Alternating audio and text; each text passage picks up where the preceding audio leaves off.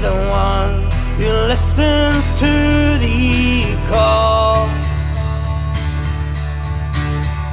They'll feed in the wind who whistles no remorse. So lying tongues without their lying breathes